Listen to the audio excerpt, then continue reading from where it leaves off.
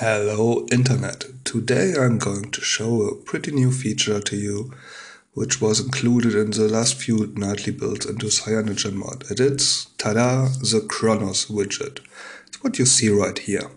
It shows you the clock, it shows you the weather, and it shows you the calendar. You can configure all that pretty much. How do you add it to your screen?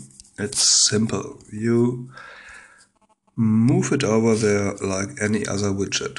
You see, it's first only showing a few things. If you resize it though, it first gets bigger, then it shows you the weather, then it shows you the next event, and even more events. So, um, how can you configure it? You go to settings, system, and there we have an entry clock widget.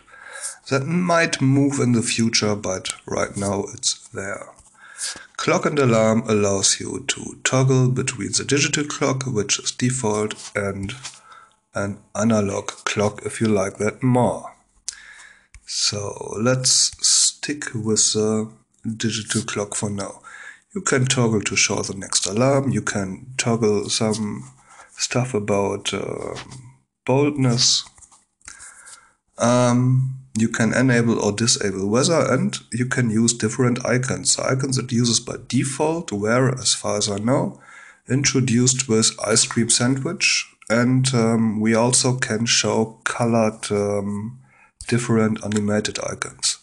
Right now I have crappy weather outside so I cannot show you the sun icon but the sun will be colored. Um, for now I stick with the default icons. Um, use metric or um, um, what is it? Fahrenheit, I guess, if you toggle it off. Oh, did it just create a lag? Uh, location timestamp and the like. And you can also um, configure the calendar events if you um, how big the look ahead is. Um, if you only want events with reminders, you usually might want to hide all day events because they are birthdays, but it's on you how you do it. Um, so I've configured this way. Now we look at the lock screen. If we look at the lock screen, we can add it as a widget like any other widget. Here it is, Chronus and now it's here. Problem is, it's only small and won't show you everything. But let's first see how we get it as a default widget, because if we um, uh, we now don't have it as default widget. This is the default widget if you remove everything. So we also can remove this baby just long press it, go to remove, and now this is the default. So we still haven't solved the problem with the maximized widgets and there is an option exactly for that. Go to lock screen and you can set maximize widgets. If you now lock your scroll, uh, screen and unlock it, you see it's maximized.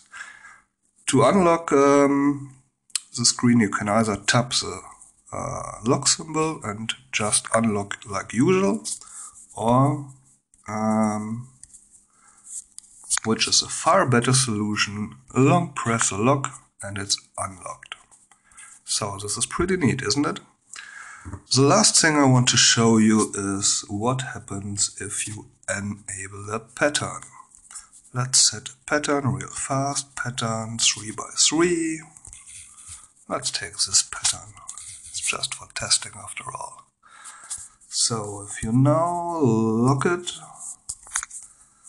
and open it, you have what you would expect. And now I long click the lock and I have a pop-up here. Pretty neat, isn't it? So I guess that covers all I wanted to show you in this video. I'm Dr. King Schulz, this is my horse Fritz, thanks for watching.